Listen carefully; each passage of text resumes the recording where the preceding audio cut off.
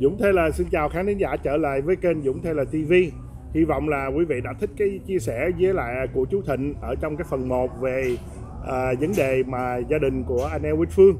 Tuy là đó là vấn đề à, riêng nhưng mà chúng ta cũng biết Eo Quýt Phương là danh ca, là một trong những người của công chúng. Thì à, đó là cái đề tài Dũng dĩ nhiên là à, theo cái lời yêu cầu của gia đình đã đưa cái đề tài này lên bề nổi à, và nhiều người đã xôn xao và hôm nay thì Dũng nhận được một cái chia sẻ đến từ chú Thịnh để cho một người khán giả của à, Dũng Taylor TV à, để rộng đường dư luận và cái nhìn của chú. Thì cũng giống như chú chia sẻ chú bằng tuổi anh Elvis Phương thì nó có những cái nhận định nó rất là ờ, thâm niên chín chắn có thể là khác với chúng ta.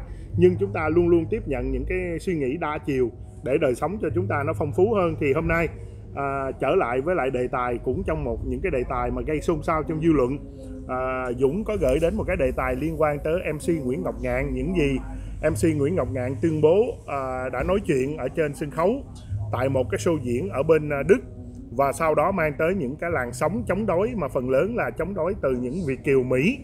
À, chúng ta cũng dễ hiểu tại sao tại vì tổng thống à, Donald Trump của Hoa Kỳ à, hiện giờ đang được lòng rất nhiều người à, Việt kiều à, Mỹ mà bỏ phiếu cho ông những người cho rằng ông có chính sách cứng rắn với lại Trung Cộng à, ờ, cho nên thành ra ờ, họ đang ủng hộ và họ muốn là ông tổng thống ờ, Donald Trump sẽ tái cử ở trong năm 2020 cho nên cho rằng những người này cho rằng anh Nguyễn Ngọc Ngạn MC Nguyễn Ngọc Ngạn là người công dân Canada và anh Nguyễn Ngọc Ngạn là người à, nổi tiếng và có cái tiếng nói của anh có thể định hướng dư luận. Và những gì anh Nguyễn Ngọc Ngạn nói tuy là tự do ngôn luận nhưng nó mang cái tính cách là nó ảnh hưởng công chúng và có thể ảnh hưởng tới số người bỏ phiếu cho tổng thống Donald Trump trong nhiệm kỳ à, thứ hai. Cho nên nhiều người đã phẫn nộ và làn sóng nó dậy sóng lên tới mức mà nhiều người là không à, không có à, kia là à, đắn đo để dùng những từ mà mạt sát à, người MC nhà văn à, mà nhiều năm nay đã quen thuộc với chúng ta và anh cũng là một trong những người mà phải nói là đứng tuổi rồi à, mà nhận được những lời đến từ những người con cháu đồng hương à, vân vân. Thì hôm nay chúng ta lắng nghe cũng một người cũng từ trong cái thế hệ của anh MC Nguyễn Ngọc Ngạn cũng bằng tuổi là chú Thịnh để chia sẻ về vấn đề này. À, xin chào chú Thịnh trở lại với lại kênh Dũng Taylor TV Hello, xin, Dũng. xin chú và chào khán thính giả. À, Hello, chào tất cả mọi người. À, chú Thịnh, ừ, chú nghĩ sao ờ, về cái đề tài MC Nguyễn Ngọc Ngạn? Chú nghĩ là à, tự do ngôn luận có nghĩa là anh Ngạn được quyền bày tỏ cái suy nghĩ của ảnh cho Dũng đoán là đây là à, cái suy nghĩ của anh. Tại sao người Mỹ họ có quyền đứng ra bày tỏ à, cái suy nghĩ của họ về tổng thống à, Hoa Kỳ Donald Trump mà họ không bị cái làn sóng dư luận mạnh như là MC Nguyễn Ngọc Ngạn à, bày tỏ cái quan điểm của của của anh à, về một vị tổng thống mà đôi khi anh dùng cái từ gọi là bạo chúa. Dù cho anh nói gì nó cũng là nằm trong tự do ngôn luận của anh đúng không? Và chúng ta có quyền à, bày tỏ quan điểm. Thì chú nghĩ như thế nào? Tại sao dư luận lại lại à, đưa ra một cái cơn mà hiện giờ nó là một cái cơn bão mà chúng ta không biết là nó sẽ đi về tới đâu? Theo trước hết là chú nghĩ rằng là Nguyễn Ngọc Ngạn á, muốn lấy lòng tổng thống Ca- Canada, Ờ, muốn lấy lòng thủ tướng. Thủ tướng. Ông à, Justin Ờ, Trudeau. Justin Trudeau đó, thì muốn lấy lấy lòng ông á, thành ra mà muốn lấy lòng ông này á, thì phải hạ người khác, đó, mà ông hạ người khác á, thì không đúng nguyên tắc, không đúng chỗ, thành ra đó ông có nói nó lạc lạc hết tất cả mọi vấn đề, ông có nói này ra ông có coi thường một người khác để đưa ông kia lên đó. nhưng Mà mà tại sao ngờ- lấy lòng ông Trudeau lúc mà anh Ngạn nói là bên Đức mà nói tiếng Việt thì làm sao ông Trudeau cũng nghe được Ờ. thì đấy hôm thì chú coi video để thấy ông đứng cạnh ông ờ, thủ tướng ờ, dạ Canada. hồi lúc ông đứng kế bên À, Tru- còn ông cái kia Trudeau á thì ờ. ông so sánh ông Trudeau với lại ông ông ông ông, Trump, ông, ông Kim Trump dạ, ông tổng thống Đại Hàn đó. Dạ. Đó thì đó chú thấy cái chuyện đó. Còn còn cái chuyện kia đấy ông có nói ở bên ờ, Đức với Đà, Hà Hà Lan, Hà dạ. Lan đó. Thì chú không thấy hình ảnh đó. Chú không để ý. Ờ, nhưng mà một người đi như ông á mà đi nói như vậy đó là không đúng. Tại dù sao nữa mình phải hiểu cho là người ta có những cái gì thì nó mới cả thế giới họ mới nể. Chứ nếu ông không làm đúng thì mọi người sẽ ông chính ông cũng hại ông trước nữa. Như đây ai cũng nghĩa là thích ông là vì ông làm được việc. Vâng. Đó. Tại ra mà ông ngạn thì dường như là ông không phải người Mỹ nữa không bây giờ mà Phan chú nói thì con đóng vai trò ông tổng thống Donald Trump hiện giờ là ông đang được cái số phiếu ủng hộ ông là 46%. Đó. Có nghĩa là cũng có nhiều người không thích ông. thì Chứ không đương phải nhiên là ai đúng, cũng thích đúng, ông. đúng đâu phải ai cũng thích nói làm là dâu trăm Việt- họ mà Việt kiều Mỹ thì Ừ. phần số đa lớn là thích ông Donald Trump vì Ừ. chính sách của ông đối ngoại ờ, mạnh dạng nhất là đối với lại Trung Cộng nói thẳng là như thế còn chúng ta đang nói đây là đây là một vị tổng thống mà phải nói là ông từ ngày cháu là cháu là đảng Cộng hòa cháu đăng ký là đảng Cộng hòa nhưng mà mình cũng nhìn thấy những diễn biến gì xảy ra ở Mỹ này chúng thấy chú thấy Hollywood tất cả những ngôi sao Hollywood đứng lên là hầu như là họ có cơ hội nào là họ đều tấn công ông tổng thống Donald Trump ừ. thì tại sao họ lại không bị dư luận phản ứng mạnh như vậy Tại họ không có châm biếm không họ châm biếm luôn họ gọi Châm ông biếm. họ cho nên ông Trump không ông, như ông, ông gọi như ngoại, ông gọi báo là- chí truyền thông ngoại là, quốc nói là, châm biếm là nó không giống như kiểu Việt Nam mình dạ không? Vì Việt Nam mình nghĩa là hơi đi quá là quá, quá, lố một chút xíu. Thì chú nghĩ như vậy. Thật sự chú cũng đảng cộng hòa nữa. Dạ. Nhưng từ trước giờ đó sau khi ông tổng thống Trump lên á thì mọi người đều chỉ trích ông Trump mọi người hy vọng ông không đắc cử nữa. Nhưng sau này ai cũng cảm thấy thích đổi ông hướng. Có những À, lúc khởi. đầu thì chú nói là Đó. 50 50 đó chưa có ai- tin ai- tưởng bây à, giờ đó đầu họ đã đó, đổi hướng. bây giờ họ họ cảm thấy chú thấy là mọi người thích thích ông rồi. Đó. Mà trong mọi người thích mà một người mà đả phá ông á thì đương nhiên là ông Nguyễn Ngọc Ngạn sẽ bị trở ngại thế thôi chú đang nói mọi người đây thì mình cũng muốn người khán giả người biết gốc là người, Mỹ gốc Việt người ở Mỹ bên gốc đang Việt. ở sống ở bên Mỹ Đúng này Việt kiều mình người Việt gọi kiều. là Việt kiều Rồi, Mỹ Việt kiều đó. Dạ. đó thì bây giờ ông Nguyễn Ngọc Ngạn đi ngược lại với với, với quần chúng của như vậy thì ông Nguyễn Ngọc Ngạn sẽ mang, mang đầu máu thôi rồi thì thà, nếu mà con có thể tóm tắt lại là nếu mà chú có thể chú bổ sung thêm ừ. là anh Ngạn là người của công chúng khán giả của anh Ngạn là người Việt Nam và hiện giờ phần lớn của người Việt Nam ở hải ngoại là Việt kiều Mỹ là ủng hộ chính sách của ông Donald Trump. Thì khi mà anh Ngạn châm biếm hoặc là anh Ngạn nói những câu dù cho với tính cách là à, hài hước hài hước ở trên hài. sân khấu nhưng Ờ. họ vẫn không chấp nhận. Họ Đúng. cho rằng cái điều đó là cái điều sai lệch và bôi nhọ vị tổng thống mà họ đã bỏ phiếu cho. Thì thành ra búa rìu đến là từ vấn đề đó theo chú. Thì đúng. Chú có gì chú bổ sung không nữa Không, chú chú thấy là Dũng nó, những cái gì Dũng nói ra thì chú cũng đều không phải ý chú nữa mà đa số chú có nghe trên những cái tu- YouTube á dạ. thì ai cũng đều bây giờ trách móc ông Ngạn hết đó dạ. Và ai cũng tẩy chay ông Ngạn bằng cách những cái show của ông sắp tới đó. Dạ. Nghe nói họ họ cũng hủy bỏ hết rồi. Thì bầu xô hủy bỏ. À, bầu show hủy bỏ. Chứng tỏ là là ông ấy sai. Một người không thích thì không nói gì mười người không thích. Đây trăm người không thích mười người không thích một ngàn người không thích thì chứng tỏ là ông phải có cái gì đó. Dạ. Ông sai ông phải biết chuyện đó chứ không thể nào mà lý do này lý do nọ khác được dạ Ừ. có nghĩa là anh ngạn được quyền bày tỏ tự do ngôn luận của ảnh nhưng mà cái điều ảnh nói ra mà công chúng không chấp nhận đúng thì nhất là ảnh là người công chúng đúng thì là ảnh sai ở cái điểm đó đúng đúng không đúng rồi bây giờ chú có cái điều gì chú muốn nói với anh Ngạn không? Chẳng hạn giờ chú đang nói chuyện với MC Nguyễn Ngọc Ngạn, một người bằng tuổi chú nè. Thì bây giờ hai người đang ngồi ở ngoài nói chuyện với nhau, dù cho anh Ngạn là công dân Canada, chú là công dân Mỹ. đó Thì giờ chú nói chuyện với nhau với tính cách đồng hương, chú nói gì với anh Ngạn? Chú thì nói thật Để đấy. mà chú mà giống như là giờ chú đang có thiện chí với anh Ngạn nhá. Chú không phải là cái người mà đang muốn à, người ta nói là thấy người ngã ngựa rồi đạp thêm hay là tôi tấn công anh dù cho tôi biết anh nói về tổng thống tôi như thế này nhưng mà tôi ờ, bằng tuổi anh đúng không xét ở trên tình đồng hương bây giờ tôi đang muốn à, giúp anh để mà à, giống như người ta nói đó mình à, không rút bớt củi ra thì cũng đừng ném thêm củi vô trong đống lửa Đấy. thì bây giờ chú đang ngồi với anh xem MC Nguyễn Ngọc Ngạn thì chú sẽ nói gì với anh Ngạn với tính cách là hai ông bạn với nhau ngồi uống cà phê? Thì chú chỉ nghĩ là ông ấy bây giờ ông ông phải phải xin lỗi. Và ông ấy biết là cái đó là sai hoặc là bốc đồng lúc đó. Hoặc là ông ấy đề cao hay là ông ấy muốn hạ bệ ông Trump thấy không? Mà ông không để ý tới những cái chuyện nguy hiểm hại tới ông ấy như bây giờ này. Thì bây giờ ông chỉ cách là xin lỗi thôi. Để đỡ, đỡ phần nào thôi chứ thật cái này á là cái suốt đời của ông mang mang một cái vết thương đó rồi. Dù bây giờ có lành đi nữa thì nó có thẹo vẫn để lại. Vâng. thì nó khó lắm. Có như, là cuộc đời của ông đến đây cũng như hình thức là chấm dứt rồi. Khó Theo mà. chú nghĩ là vậy có nghĩa là có nhiều người nói là công lao của anh Ngạn mấy chục năm Đến nay đây. cho ở trong cái đóng góp cho cái nghệ thuật. Thì anh Ngạn đã lớn rồi thì có thể à, du di được hay không thì chú nghĩ làm sao? Theo chú mới nói là à, khôn 3 năm dạy một đời những gì anh ngạn làm mà bây giờ vì cái vấn đề này thì nó sẽ là một cái cái vết bẩn đó. theo anh ngạn cho tới cuối đời luôn. Chú nghĩ nặng nề tới mức vậy à? Chứ người, còn gì- người Việt Nam mình thì người họ nói là họ chỉ đánh người ngoan cố quay đi chứ họ không quay đánh người quay lại. Không phải chú đồng ý cái chuyện đó nhưng mà dù sao đó ông ngạn ông chú không ai chửi bới nhưng mà ông cũng là bị một cái vết thương rồi. Không thể nào mà vết thẹo trên tay không thể nào chấm dứt được. Dạ. Có làm gì làm nữa nhưng mà thẹo nó, vẫn có là- lành nhưng mà nó, vẫn có còn cái vết. Dạ. nó vẫn còn cái thẹo vẫn vết đó. Đó vết là vấn thương có lành nhưng mà Đó. vẫn còn thẹo. Đó không thể nào hết được. Dạ. Đó là như vậy đó thôi.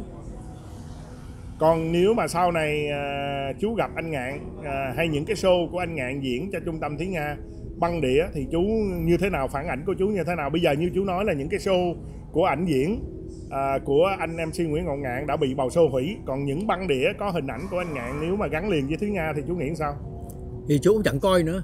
Bây giờ mà chú chú mà thấy những cái gì hình ảnh Nguyễn Ngọc Ngạn là chú cũng không thích rồi. Nặng nề tới vậy con thấy chú nhẹ nhàng lắm mà Không- bữa nay lần đầu tiên được. con thấy chú. Không đại khái thì mình nghĩa là cũng không phải nặng nề nhưng mà chú cũng không thích. Dạ. Đó. Không? thành ra cái việc Ý con nói đây nói là- nhiều ông ơi nói nhiều quá rồi mình cũng nghe mình quen thuộc rồi. Dạ. Thành ra nói thêm nữa trình bày thêm nữa chú cũng không quan tâm tới. Dạ. Đó ý con nói đây là cho tới giờ này đó là khán giả của kênh Dũng Taylor TV nhìn chú Thịnh đó, là một trong những người mà cái gương của chú là cái gương con muốn đi theo đó. Có nghĩa là 75 tuổi giữ gìn sức khỏe tốt à, kia là à, luôn luôn nhìn đời ở một cái à, khía cạnh à, à, lạc quan. Mà hôm nay lần đầu tiên mà khán giả của à, Dũng Taylor TV thấy chú Thịnh là kêu là cương quyết á nặng á có lẽ là nặng nặng đô nhất á, là về vấn đề này. Thì chú có thể chia sẻ tại sao vậy? Anh ngạn anh đã chạm ở một cái phần nào của chú Không. mà để cho chú bộc lộ ra tới cái điều này? Không thật sự đối với cá nhân chú chẳng có gì dính dáng để để chạm chú cả. Dạ.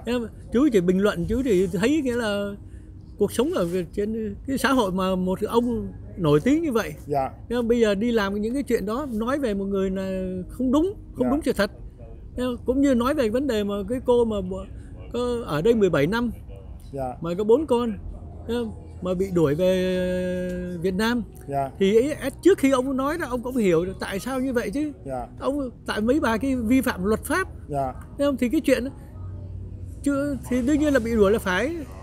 Rồi. Tại vì chú Dũng phải biết nhiều người thoát khỏi được thì thoát, dạ còn không thoát khỏi thì phải chịu thôi. dạ không? Chẳng hạn như cái người bốn con chẳng hạn như vậy đó. Không may bị phanh phui ra thì đó phải chấp nhận thôi nhưng mà không thể nào nói ông Trâm ông đuổi. Tại vì ăn bao nhiêu năm mình đây đi làm cực khổ có nhà có cửa mà cũng sợ thấy không được ấy. Dạ. sợ ngày nào bệnh hoạn á là nhà cũng tan tành luôn. Dạ. Còn đây mấy người đó đó. Không lo gì hết đó có nào là Medicare nào Medical nào là Food Stamp đại khái tùm lum đó thì Dạ. cái chuyện người nào thoát khỏi người nào may mắn là được thôi.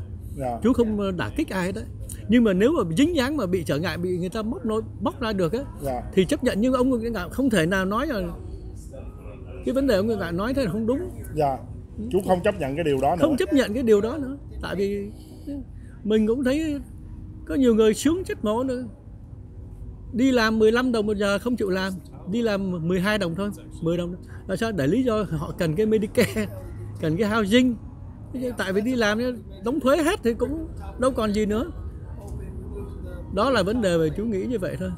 Mà đó, hai vấn đề. Vậy nãy giờ con nghe là hai vấn đề. Chú còn vấn đề gì mà chú cảm thấy là chú dù cho không đụng chạm riêng cả bản thân chú mà chú cảm thấy là đã đụng chạm tới người khác và chú muốn nói chuyện nói đạm đụng chạm tới quyền lợi chung đó, quyền lợi chung quyền lợi chung chứ không phải là đụng chạm tới quyền lợi riêng tư của chú nói cho nó rõ Ừ. là những gì chú đang thể hiện là không phải là đụng chạm tới quyền lợi tư của chú và Ừ. chú với anh ngạn cũng không có cái gì hết nhưng mà chú đang cảm thấy là những gì ảnh anh ngạn à, tuyên bố nó ảnh hưởng tới quyền lợi chung và nó sai cho nên chú thể hiện.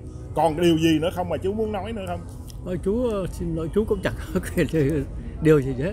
Thì chú chỉ thấy cái chuyện đó của ông Nguyễn Ngọc Anh nói ra là không đúng rồi thôi. Chú thấy vấn đề anh ngạn à, đùa đùa giỡn nói về vấn đề à, ngoại hình của ông à, ông cả ông Kim. Donald Trump và Donald cùng Trump, với lại đó. ông à, Kim Jong Un và Đó. ông Trudeau thì chú Đó. thấy sao nhiều người cũng bức xúc về vấn đề đó thì chú thấy đó Bởi thế cái chuyện đó chuyện của mình đâu có đề, trên nguyên tắc là không nên làm những cái chuyện đó Thấy không?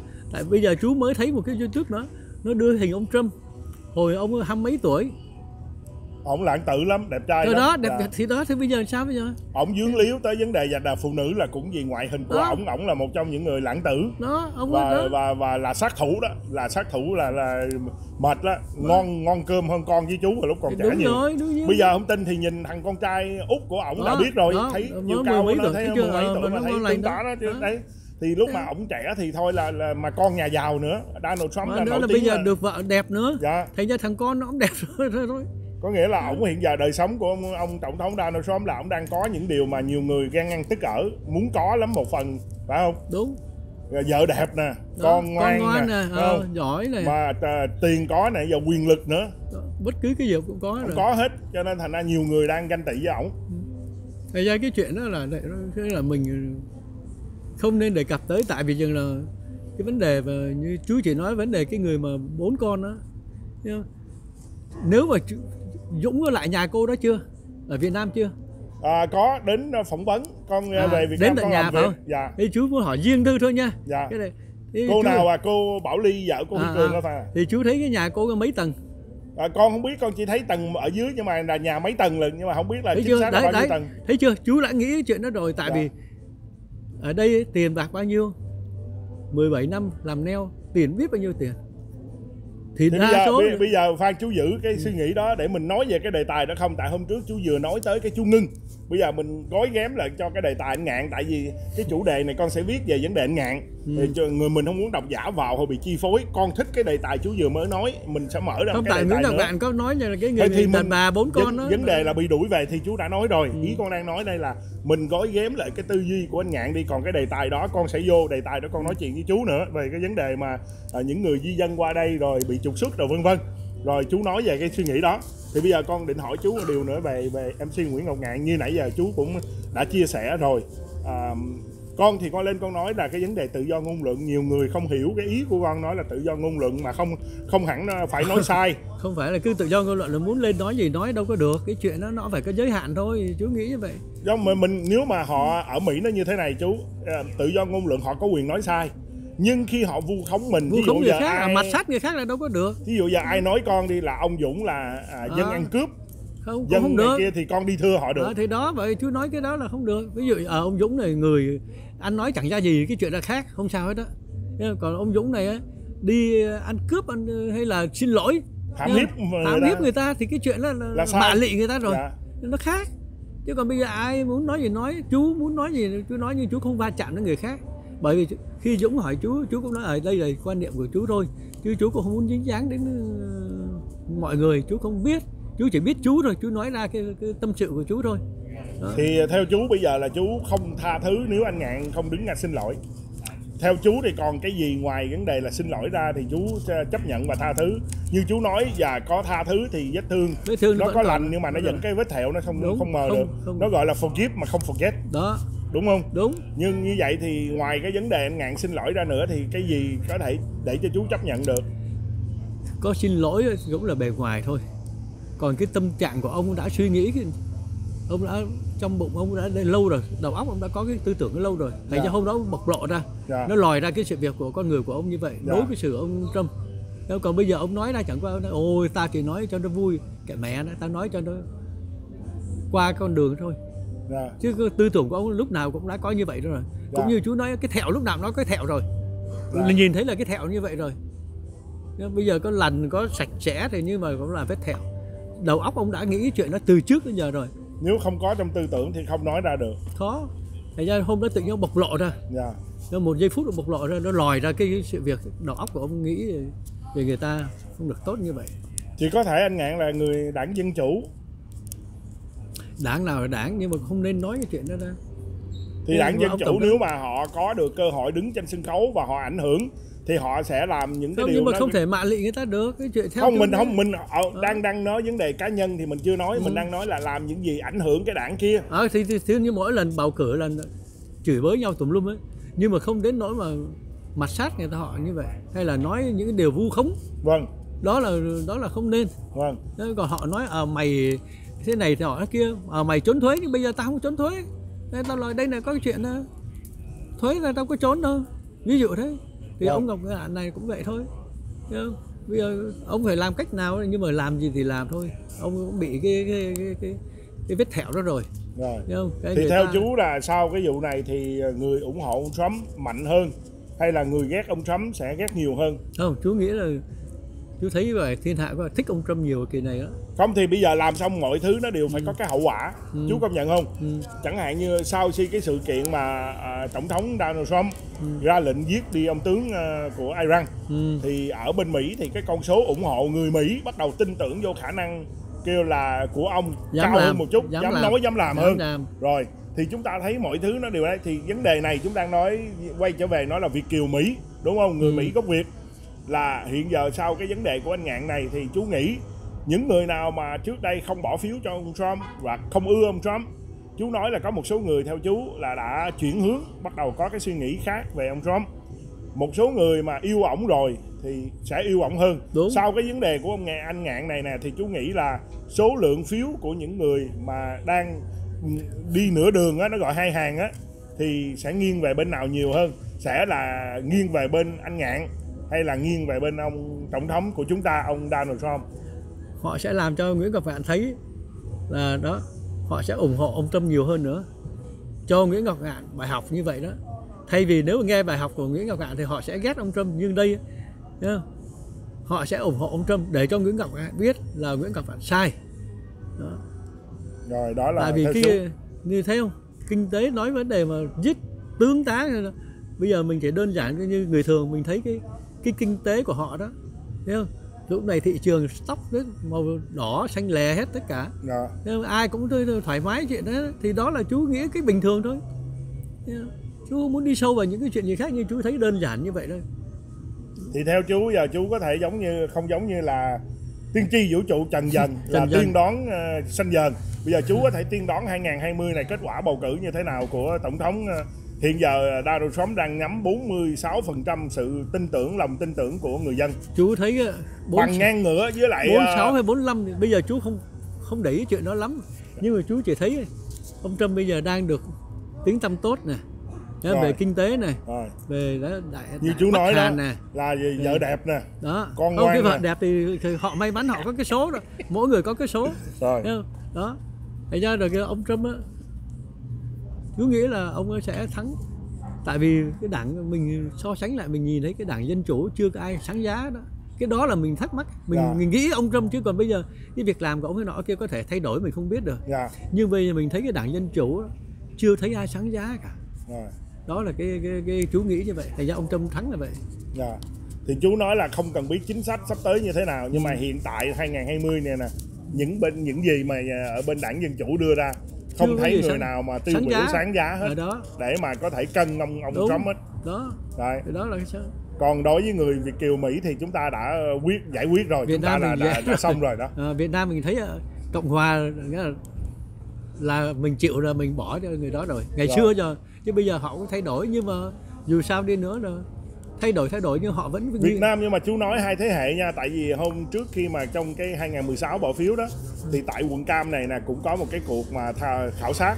Thì trong một gia đình cũng người Việt Đúng. người Mỹ gốc Việt bố mẹ hai người khác nhau. bố mẹ là ngang là cộng, Cộng hòa, nhưng con cái dân chủ. là dân chủ. Đúng thì gia đình chú cũng thế thôi.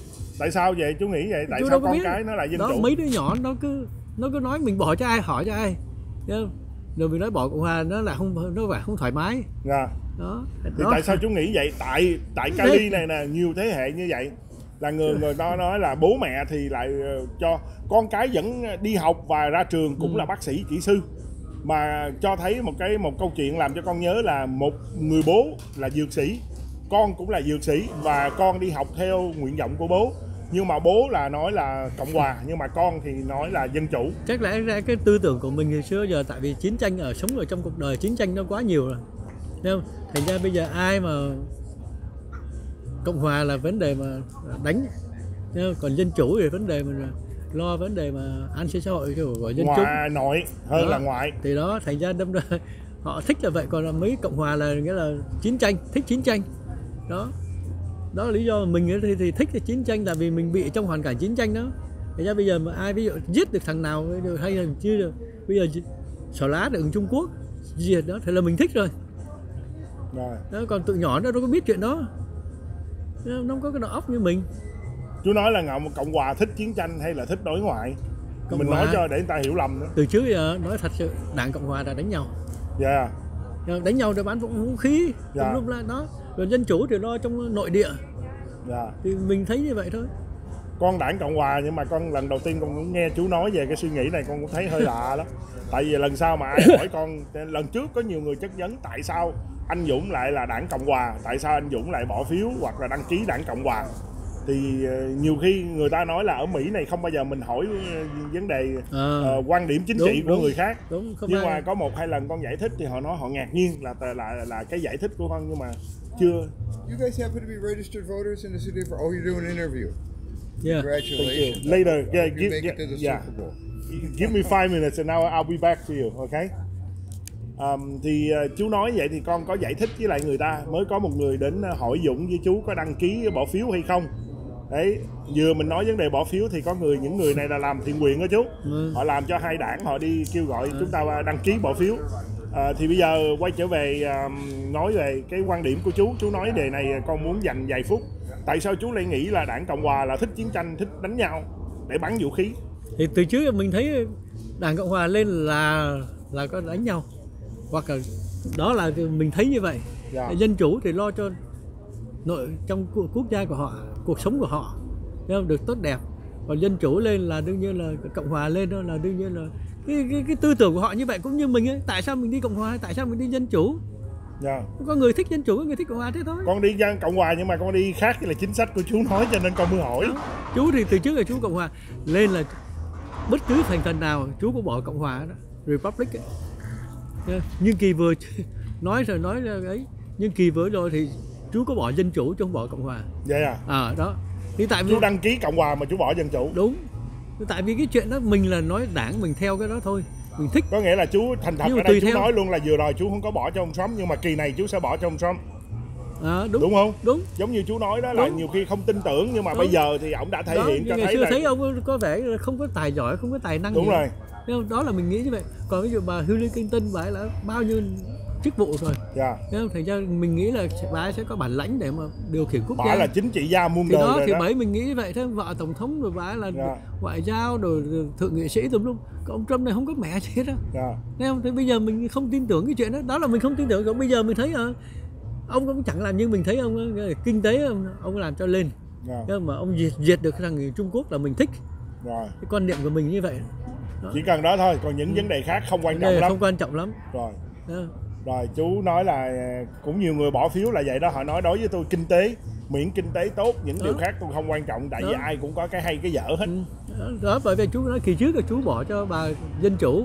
Hillary Clinton rồi bây giờ chú à, chú can đảm mà chú dám đứng ra chú nói là tôi nhiệm kỳ đầu tôi đăng ký đảng cộng hòa mà tôi không có bỏ phiếu cho ông trump. Nhưng đảm bảo tôi và bạn một số bạn của tôi kỳ này là bỏ phiếu cho ông trump. Đúng. Mà không liên quan gì tới anh ngạn hết. Không không đâu có liên quan tới ông ngạn. Mình ăn con ngạn đâu có dính dáng cái chuyện mình. Nó lại là con tư. Hột cát là, đâu có ai để ý tới. Không? là con tưởng là cái vấn đề anh ngạn mà chú Không. nói mới nãy đó là Không, không, dân người người mỹ mà gốc việt sẽ thể hiện cho cho anh ngạn. Ông ngạn có làm gì nữa chú chẳng care không để ý ông không? rồi chưa chắc ông hơn hơn mình có thể ông hơn về phương diện này ông phương diện khác ông đâu có hơn mình được ví dụ thế rồi thôi, con xin cảm ơn chú về hôm nay nữa một lần nữa chú lại cho thấy một cái à, Đặc nhìn biệt. những cái nhìn của chú khá đặc biệt về à, đề tài của Dân MC chủ. Nguyễn Ngọc Ngạn à, và cái nhìn về giữa dân chủ và cộng hòa Ừ. hy vọng là à, trong tương lai à, chúng ta còn có những buổi để ngồi nói chuyện với nhau nữa như mới nãy chú vừa nói tới là đề tài à, di dân di trú đúng không? Ừ. cái nhìn của chú về những người di dân bất hợp pháp ở Mỹ và trở thành cái gánh nặng của Hoa Kỳ. Chúng ta sẽ gói lại để chúng ta nói về cái đề tài đó riêng. Chú chú không đề cập tới nghĩa là bất hợp pháp hay không? Bất hợp pháp. Nhưng chú thấy một người đa số mình về Việt Nam mình thấy nhà những nhà ngày xưa đó thì bây giờ chú gói lại bây Ờ. giờ mình mình mình chia tay cái đề tài Ờ, này đi rồi. rồi mình quay lại mình nói đề tài đó rồi lúc Dạ, khác không thì bị, không mình cũng sẽ nói có thể trong hôm nay luôn Ờ. nhưng mà mình mình tách nó ra một cái đề tài để không có bị nhiễu Ừ. đề tài này qua Ờ. đề tài kia hỗn hỗn để hỗn cho tại- khán giả họ thích Đúng. cái đề tài nào họ xem cái đề tài đó chứ không thôi họ nói là Tập anh trung. ông Dũng với lại anh à, chú Thịnh Nói nói, về đề tài ông ngạn cái tự nhiên vô tôi nghe nhảy qua Ờ. tùm lum hết trơn giống như bữa mình đi cái vụ vườn nghe trái cây đó tôi không muốn nghe thì bây giờ mình gói ghém lại đề tài này và Dũng cùng với chú Thịnh sẽ trở lại để kiếm cái bóng mát cho chú ngồi tại con thấy chú ngồi ngoài ánh sáng con cần ánh sáng hơn chú mà nãy giờ chú ngồi đó thì con cũng hơi sốt ruột. Không, cũng thì bây giờ mình bắt đầu mình kiếm à, bóng mát mình ngồi nói về đề tài di dân di chú. Xin quý vị trở lại với lại cái nhìn của chú Thịnh. Một lần nữa ba bốn tuần không gặp chú Thịnh cho nên thành ra à, chúng ta tranh thủ Dũng tranh thủ để à, có những cái suy nghĩ cái nhìn nhận của chú. À, cảm ơn à, khán giả đã luôn luôn đồng hành lắng nghe và chia sẻ với kênh Dũng Taylor TV xin chú gửi lời chào khán giả. Xin ờ, kính chào tất cả mọi người đấy, kiệm lời như vậy đó mà nói về anh ngạn là thôi, chú nói nhiều nhất luôn.